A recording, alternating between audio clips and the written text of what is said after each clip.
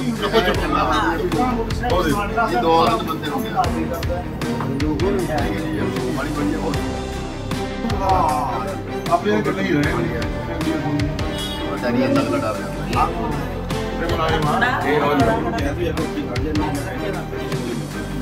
ਤੇ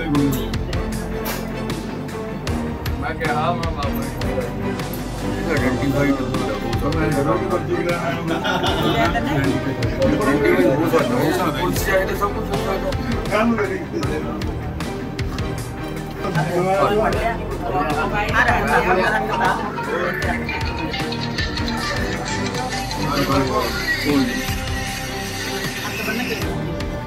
ਕਹਿਣ ਵਾਲੀ ਤਾਂ ਕੋਈ ਗੱਲ ਨਹੀਂ, ਸਭ ਦੇ ਸਾਹਮਣੇ ਸਾਫ਼ ਹੀ ਹੈ, ਜ਼ਾਹਰੀ ਹੈ ਗੱਲ। ਵੀ ਦਿਨੇ ਦਿਨ ਦਿਹਾੜੇ ਸ਼ਰੇਆਮ ਡਕੈਤੀਆਂ ਹੋ ਰਹੀਆਂ ਨੇ, ਸ਼ਰੇਆਮ ਲੁੱਟਾਂ ਖਸੁੱਟਾਂ ਹੋ ਰਹੀਆਂ ਨੇ, ਕੋਈ ਕਿਸੇ ਦਾ ਕੋਈ ਕੰਟਰੋਲ ਨਹੀਂ। ਤੇ ਦਿਨ ਦਿਹਾੜੇ ਲੁੱਟਾਂ ਖਸੁੱਟਾਂ, ਸ਼ਰੇਆਮ ਪਿਸਤੌਲ ਦੀ ਨੋਕ ਨਾਲ ਡਕੈਤੀ ਹੋਈ ਹੈ। ਦਿਨ ਦਿਹਾੜੇ ਕੱਲਾ ਹੀ ਬੰਦੇ ਦੀ ਦੇਖੋ ਜ਼ਰੂਰਤ। ਦੁਕਾਨ ਦੇ ਵਿੱਚ ਚਾਰ ਜਾਣੇ ਨੇ, ਇੱਕ ਮੁਲਾਜ਼ਮ ਅੰਦਰ ਬੈਠਾ ਦੋ ਲੇਡੀਜ਼ ਮੁਲਾਜ਼ਮ ਪੌੜੀਆਂ 'ਚ ਬੈਠੀਆਂ ਨੇ ਤੇ ਮਾਲਕਨ ਇਹ ਸੀਟ ਤੇ ਬੈਠੀ ਹੈ। ਕੱਲਾ ਬੰਦਾ ਸ਼ਰੇਆਮ ਆ ਕੇ ਦੁਕਾਨ ਤੇ ਪਿਸਤੌਲ ਦਿਖਾ ਕੇ ਗਨ ਪੁਆਇੰਟ ਤੇ ਮਤਲਬ 10 ਮਿੰਟ ਉਹ ਬੰਦਾ ਦੁਕਾਨ ਦੇ ਅੰਦਰ ਰਹਿੰਦਾ ਤੇ ਕੋਈ ਉਹਨੂੰ ਕਿਸੇ ਦਾ ਭੈ ਡਰ ਨਹੀਂ ਹੈਗਾ। ਤਾਂ ਉਸ ਤਰੀਕੇ ਨਾਲ ਉਹਨੇ ਲੁੱਟ ਖਸੁੱਟ ਕੀਤੀ। ਤੇ ਸਾਰੀ ਵੀਡੀਓ ਸਭ ਦੇ ਸਾਹਮਣੇ ਹੈ ਤੇ ਬਹਿਸਦਾ ਰਿਹਾ ਲੇਡੀਜ਼ ਨਾਲ। ਉਹਨੇ ਮੋਬਾਈਲ ਨੂੰ ਹੱਥ ਲਾਇਆ, ਮੋਬਾਈਲ ਖੋਲਿਆ ਫਿਰ ਮੁੰਡਾ ਅੰਦਰੋਂ ਮੁਲਾਜ਼ਮ ਉੱਠ ਕੇ ਆ ਗਿਆ। ਉਹਨੂੰ ਵੀ ਕਹਿੰਦਾ, ਕਾਕਾ, ਵਿੱਚ ਨਾ ਨਹੀਂ ਮੈਨੂੰ ਗੋਲੀ ਚਲਾਉਣੀ ਪਊ, ਮਜਬੂਰਨ ਸਾਈਡ ਤੇ ਰਹਿ। ਫਿਰ ਉਹ ਲੇਡੀਜ਼ ਬੋਡੀਆਂ 'ਚ ਉਤਰ ਕੇ ਆਈ, ਫਿਰ ਨਹੀਂ ਪਰਵਾਹ ਮੰਨੀ।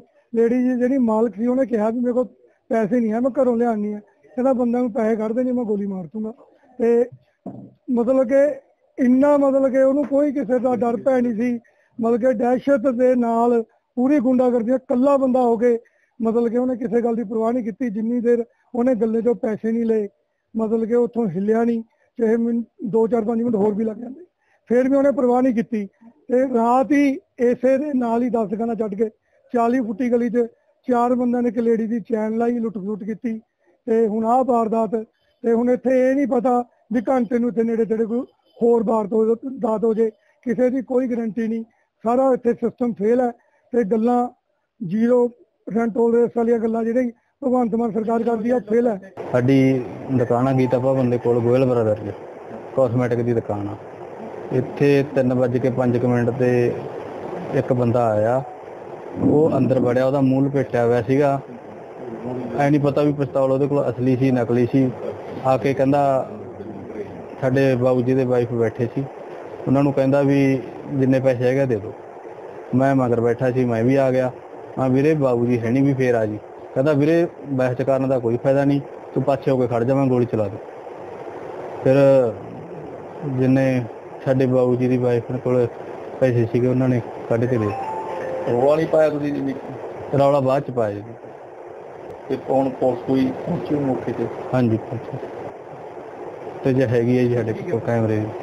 ਹਾਂਜੀ ਖਾਣਾ ਸਿਟੀ ਵਨ ਦੇ ਏਰੀਆ ਵਿੱਚ ਗੀਤਾ ਭਵਨ ਦੇ ਕੋਲੇ, ਜਿਹੜੀ ਇਹ ਖੋਹ ਹੋਈ ਹੈਗੀ ਰਜ- ਰਜਨੀਸ਼ ਕੁਮਾਰ ਦੇ ਆਪਣੇ ਗੋਇਲ ਬ੍ਰਦਰ ਦੇ ਨਾਲ ਸਟੋਰ ਹੈਗਾ। ਉਹ ਆਪ ਤਾਂ ਬਾਹਰ ਗਿਆ ਹੋਇਆ ਸੀ, ਉਹਦਾ ਇੱਕ ਨੌਕਰ ਸੀਗਾ ਤੇ ਉਹਦੀ ਮਿਸੇਜ ਸੀ ਤੇ ਇੱਕ ਨੌਕਰਾਨੀ ਸੀ। ਤੇ ਉਹ ਬੰਦਾ ਆਉਂਦਾਗਾ ਤੇ ਉਹ ਬੰਦਾ ਆ ਕੇ ਉਹਨਾਂ ਤੋਂ ਕਹਿੰਦਾ ਵੀ ਜੋ ਦਰਾਜ ਤੇ ਹੈਗਾ ਪੈਸੇ ਦੇ ਦਿਓ। ਉਹਨਾਂ ਦਾ ਕਰੀਬ 6-7000 ਰੁਪਏ ਦਰਾਜ ਦੇ ਵਿੱਚ ਪਿਆ ਸੀ, ਉਹ ਲੇਡੀ ਜੀ ਨੇ ਡਿੰਪਲ ਕੌਰ ਦੇ ਕੱਢ ਡਿੰਪਲ ਨੇ ਕੱਢ ਕੇ ਦਿੱਤਾ ਉਹਨੂੰ। ਉਹ ਚਲਿਆ ਗਿਆ। ਇਹਦੇ ਸੰਬੰਧੀ ਅਸੀਂ ਕੈਮਰੇ ਨਾਲ ਫੁਟੇਜ ਚੈੱਕ ਕਰ ਰਹੇ ਹਾਂਗੇ। ਤੇ ਸੀਆਈਏ ਦੀ ਟੀਮ ਥਾਣੇ ਵੱਲੋਂ ਚਾਰ ਟੀਮਾਂ ਲਾਈਆਂ ਵੀਆਂ ਨੇ। ਸਾਰਾ ਕੁਝ ਕਰਕੇ ਜਲਦੀ ਟ੍ਰੇਸ ਕਰ ਲਾਂਗੇ। ਇਹਦੇ ਬਾਰੇ ਨਾ ਜਿਹੜਾ ਪਿਸਤੌਲ ਦੀ ਆ ਕਰ ਰਿਹਾ ਵੀ ਉਹਦੇ ਕੋਲ ਹੈ ਕੁਛ, ਪਰ ਉਹਨੂੰ ਉਹਦੇ ਉੱਤੇ ਮਾਰ ਰੱਖ ਰਿਹਾ ਉਹ। ਉਹਨੂੰ ਲੁਕੋ ਕੇ ਹੀ ਰੱਖਦਾ, ਉਹਨੇ ਬਾਹਰ ਨਹੀਂ ਕੱਢਿਆ ਹੈਗਾ। ਉਹਦੀ ਵੀ ਅਸੀਂ ਪੜਤਾਲ ਕਰ ਰਹੇ ਹਾਂਗੇ। ਸਾਰੇ ਕੈਮਰੇ ਬਹੁਤ ਲੱਗੇ ਹੋਏ ਨੇ ਸਾਰੇ ਸਾਰੇ ਚੈੱਕ ਕਰ ਰਹੇ ਹਾਂ ਨਹੀਂ, ਹਜੇ ਕੋਈ ਮੁਕੱਦਮਾ ਦਰਜ ਨਹੀਂ ਹੋਇਆ, ਹਜੇ ਅਸੀਂ ਪੜਤਾਲ ਕਰ ਰਹੇ ਹਾਂ, ਫਿਰ ਬਿਆਨ ਲਿਖਾਂਗੇ।